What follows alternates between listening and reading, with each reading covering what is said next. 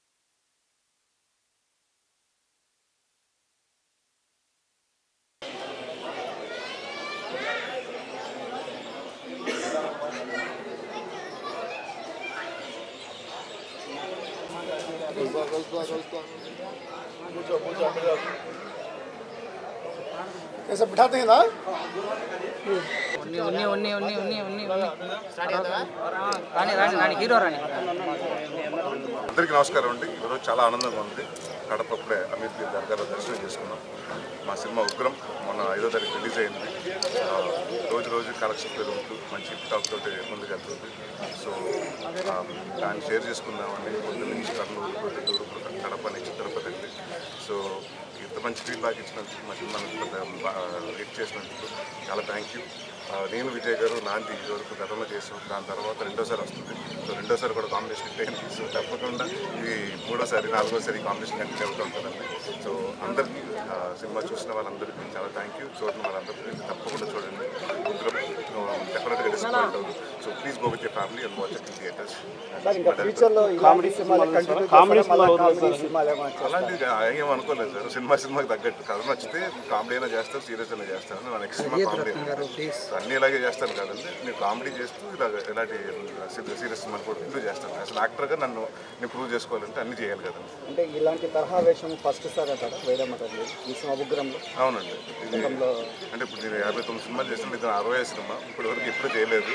So first time Vijay గారు నాకు నాంది చేసిన తర్వాత నమ్మి అంటే ఇదైతే ఇంకా బాగుంటుంది. నాందిలో ఒక ఎమోషన్ చూపించారు. ఇప్పటి వరకు మీరు యాక్షన్ చేయలేదు.